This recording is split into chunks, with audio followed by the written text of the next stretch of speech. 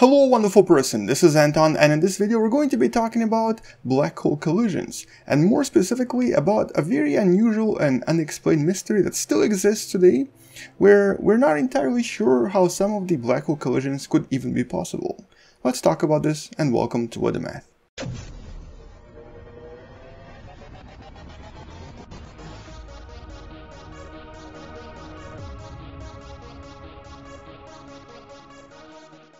Now in the last few years we've discovered quite a lot of various black hole collisions and you can even find this beautiful video from LIGO that shows you um, visually what some of these collisions were.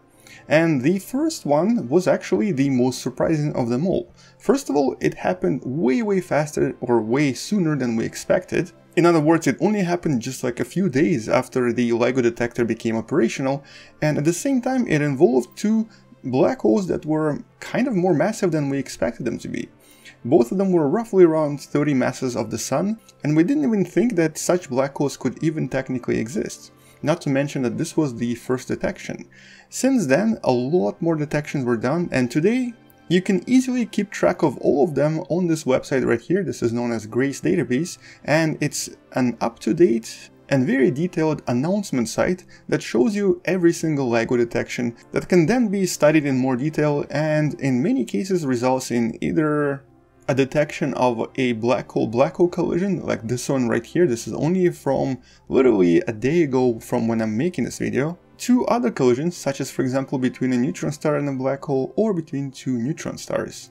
On top of this, you can even get an app uh, that's absolutely free to use that also shows you the same thing and notifies you when new collisions happen. So this is how far we've advanced in the last few years in terms of detecting gravitational waves from various sources out there in the universe.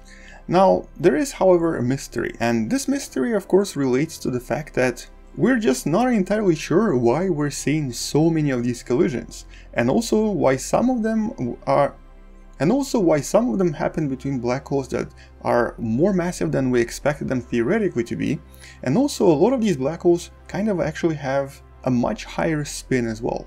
Now you might not really realize that in general black holes do spin. As a matter of fact it seems that every single black hole we've seen so far has at least a little bit of a spin. And in most cases this spin is way way higher than we predicted or expected. And the mass is higher. So there's something unusual going on with these black holes that we're detecting and it's also very difficult to explain why we're getting so many practically almost every day now. And so this is where another paper comes in and tries to explain all of this. And actually does a pretty good job in being very logical and very clear about what's probably happening and why we're seeing so many collisions. And to explain all of this, we have to move right here into the accretion disk of a typical supermassive black hole. This is the one in the middle of our own galaxy, Sagittarius A star. Now, as you can probably tell just from the actual shape of the accretion disk and the sheer size, a lot of things are happening here. A lot of things are colliding here, and a lot of things are being created and destroyed. In a sense, this is uh, somewhat familiar to a much larger, much more massive version of a typical protoplanetary disk, such as for example a disk that our solar system was made from, where the star in the middle is the source of the gravitational pull and everything orbits around it and as it does it collides creating larger and larger rocks and eventually resulting in the formation of planetoids and eventually planets and possibly even things like gas giants. Now all of these collisions are of course minuscule, they're not really that large in comparison to what's happening around a typical supermassive black hole. Here, things would happen on a much, much larger scale with a lot more impact and a lot more masses involved. And the scientists behind this paper believe that this is exactly what we're actually observing. We're observing collisions between really large, really massive objects orbiting supermassive black holes, and their study in a sense explains for why we're seeing these really massive black holes that we don't expect to see anyway, and at the same time it explains why all of this happens so frequently and why many of these black holes have very very high spin. So if I were to try to recreate a very basic version of this accretion disk by using a model of Sagittarius A star and just a few stars orbiting around it, and then of course placed a few uh, black holes here as well, eventually things will start colliding. When stars collide, they'll very likely produce a supernova and you're going to see it um, relatively quickly actually. But when the black holes collide, you're not going to see it visually. However, you are going to feel the gravitational effects.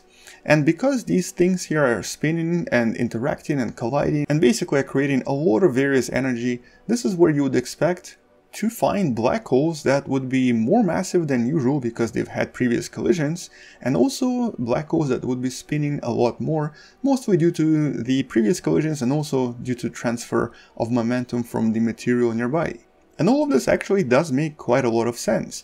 It explains why we're seeing so many of these collisions, so essentially probably most of them did not happen in the middle of the galaxy but actually happened very very close to the central black hole, and also it explains why these black holes are more massive. This also um, relates to a lot of other ideas where scientists actually suggested for many years that we expect a lot of black holes to orbit around the typical supermassive black hole, and scientists even speculated that there are probably close to about 10,000 different black holes hiding very close to the Sagittarius A star supermassive black hole in the middle of our own galaxy.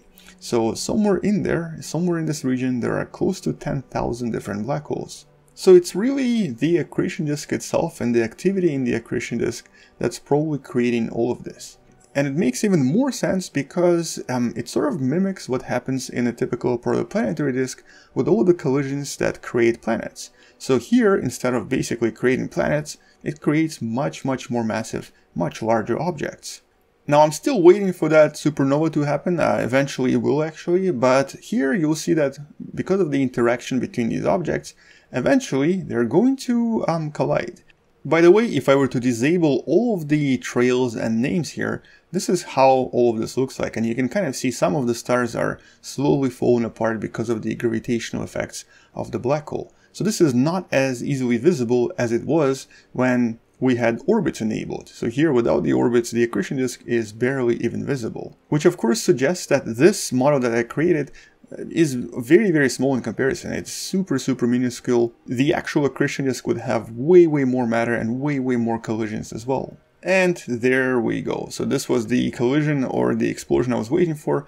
It took a few days uh, of simulation. Oh, there we go. We actually have two and three and suddenly they're all colliding. So I think uh, there was some kind of stability issue and wow, this is incredible. So suddenly all of the stars started to collide because of the um, instability that was introduced uh, by some of the explosions. So this is kind of what happens in the center of many galaxies. This is actually something that we expect to happen quite a lot, although the supernova probably a lot more rare, but the collisions between black holes definitely happen quite a lot and it's very likely we're going to detect even more of them as the uh, LIGO mission becomes more advanced, and more importantly, as new devices such as, for example, this gravitational wave detector known as LISA come out as well. So with all of these new facilities and all of these new techniques that we have, we'll eventually definitely be able to answer all of the questions about gravitational waves understand them really really well but most importantly we'll probably even find a way to utilize them in daily life. For now it's still kind of theoretical, but we're getting there. We're going to find a way to use this and to create something very useful for humanity out of it. On this note, that's all I wanted to mention in this video. Check out the paper in the description below. Subscribe if you still haven't, share this with someone who loves sciences and space, and come back tomorrow to learn something else. I'll see you tomorrow, space out, and as always, bye bye.